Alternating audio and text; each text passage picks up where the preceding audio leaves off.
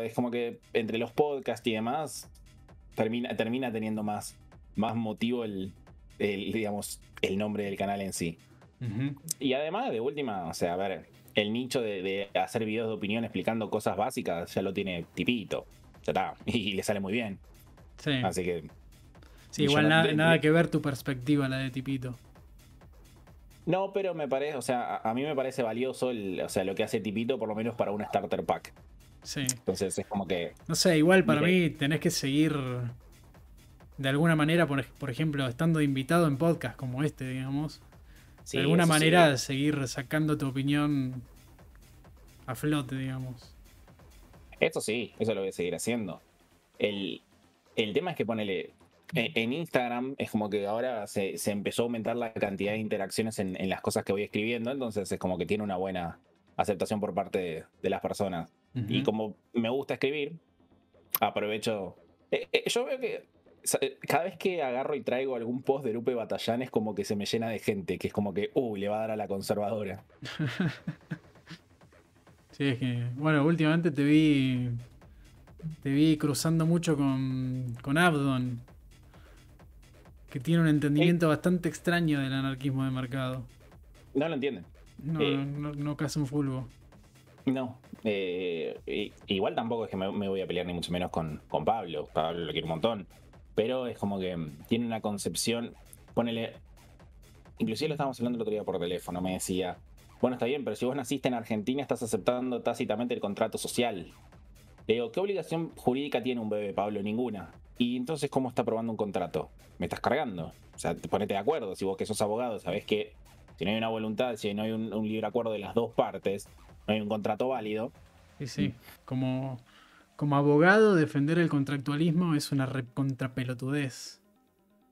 Porque es, totalmente, es totalmente ilógico. no, se, cagan en, la base de tu laburo. Sí, aparte, hoy cuando tiró el, el tweet de los hombres libres en una sociedad en CAP. Ah, sí. los, oprimidos. Es como que Pablo, dale.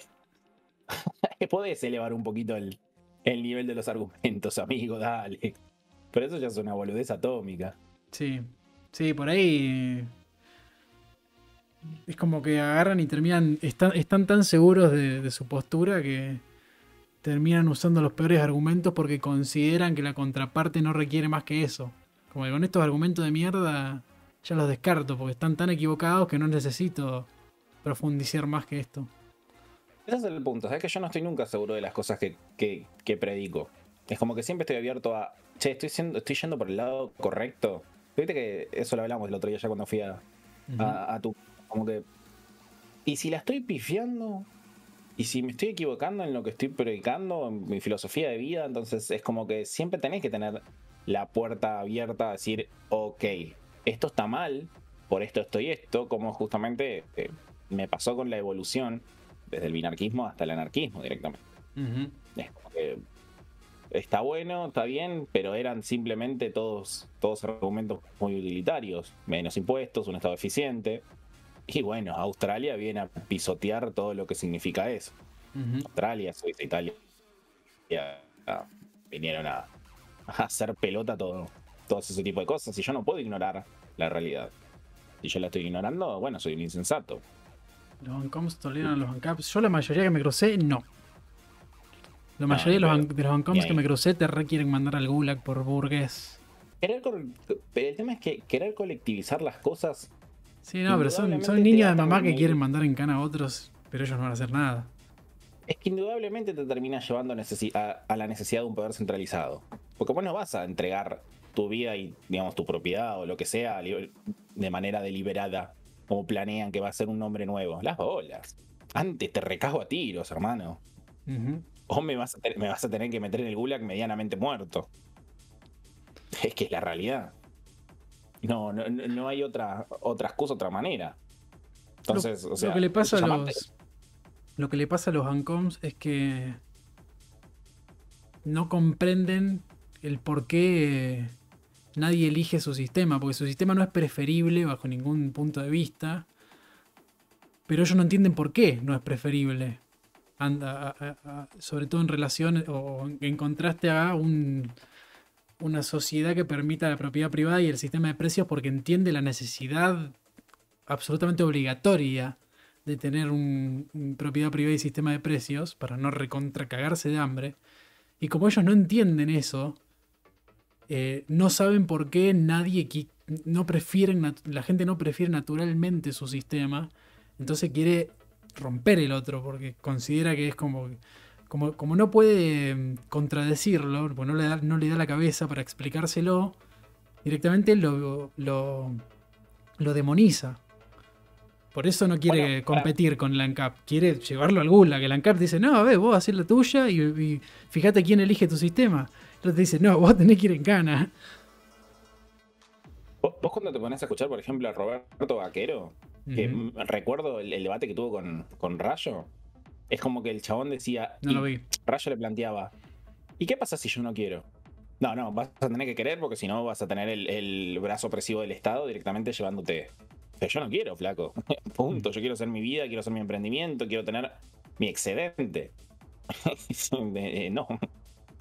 Eh, el tema, vos sabes que dijiste una palabra que es clave: sistema.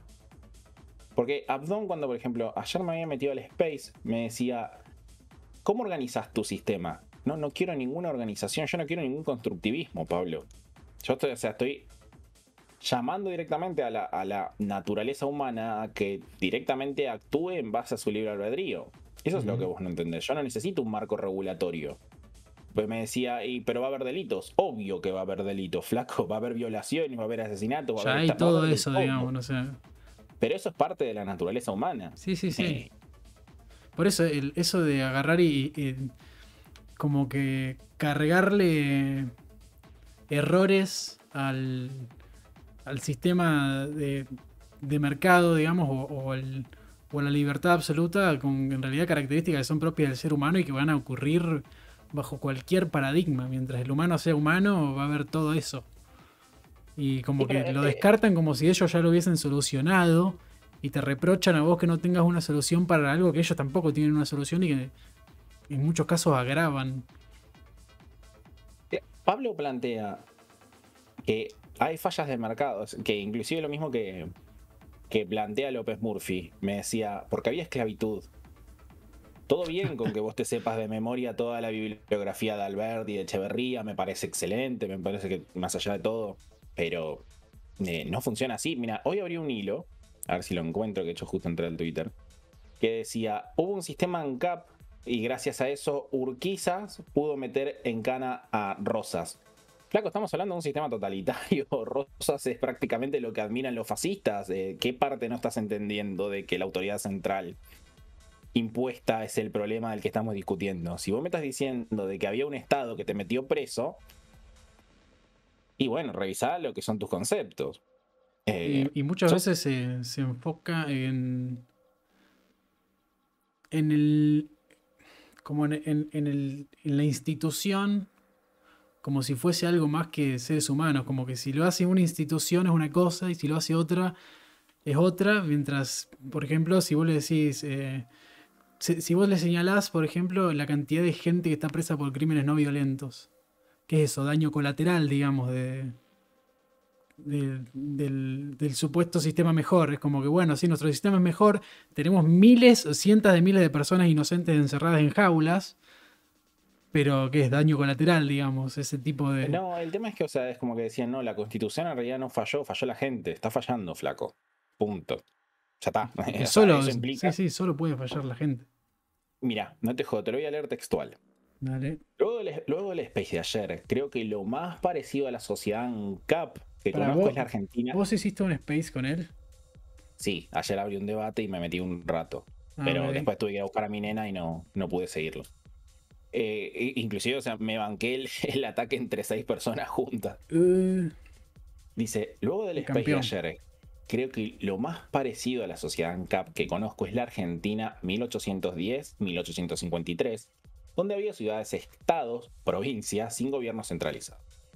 Las ciudades-estados hacían tratados de defensa voluntarios, pilar, cuadrilátero, etc. No había educación centralizada y había aportación de armas libres. Bien. Existían empresas de seguridad privada que hacían justicia. La más conocida era la Mazorca, o también estaban en Córdoba los hermanos Reinafe que ajustició a Quiroga. Punto. El resultado de esa sociedad fue que Urquiza con su empresa de seguridad contrató una empresa de seguridad brasilera y barrió a Rosas. O sea, estamos hablando de Rosas, una época totalmente totalitaria de la Argentina y vos me lo estás relacionando con el anarquismo. Sí, además eso es, eso es estatismo, man. Eh, pero es que totalmente. Después dice, por suerte vino la Constitución Nacional de 1853, que nos sacó de este sistema ANCAP y pudimos progresar. Todo entre 1810 y 1853 se hizo con acuerdos voluntarios. Eh, me estás hablando de que estuvo Rosas, que fue un totalitario, fue prácticamente un dictador del siglo XVIII, o 17, no sé qué pingo sería, porque con el tema de los números siempre soy medio... Yo creo que se, resuelve la ecuación en una sola frase, y es que los contratos que violan los derechos naturales de otros individuos no son válidos. Totalmente. Eh, pero aparte, yo creo que la, conclusión a priori que te tienen que salir de, del liberalismo, si sos una persona que aboga por los contratos, o sea, por la voluntad plena libre albedrío de las personas, termina siendo una respuesta anarquista. Porque, por ejemplo, e, el otro día esto lo, charlaba con Juan, que bueno, ya sé que tienen su eterna pelea por, por la mejor criptomoneda. Pero es que me decía, yo, me considero un CAP. Vos te considerás voluntarista, me gustaría saber la, diferencia. Le digo, yo siento que el voluntarismo mismo te lleva a la anarquía, a la, a la digamos, desfinanciación compulsiva del Estado y a la deslegitimación de un poder central. O sea, una idea te lleva particularmente a la otra. Si vos estás en contra de justamente que se ejerza la violencia como método y como sistema de, digamos, directamente un constructivismo para modificar la conducta humana, terminas siendo anarquista, sí o sí. Porque, o sea, yo no estoy poniendo un marco regulatorio para que la gente a partir de eso actúe. Yo estoy directamente desligándome de. Va, en realidad no desligándome, permitiendo la libertad humana en su plenitud, con las consecuencias que tenga. Porque quizás lo que te digo, estamos equivocados y termina siendo un desastre. Sí, pero ¿sabes lo, que tiene la ventaja ética que tiene ahí el anarquismo? Es que lo que plantea en términos organizacionales es tan simple como, che, vos querés participar, bueno, participá, si no querés, no participes. Es pero eh, aparte. Es, lo, básico del comportamiento humano. Es, si querés participar, vení, sumate, hagamos. Si no querés participar, ok, no vengas, no hagamos. Ya está. Pero aparte, ¿cómo me, vas a poner obligaciones en base a un contrato que yo no firmé? Siendo abogado.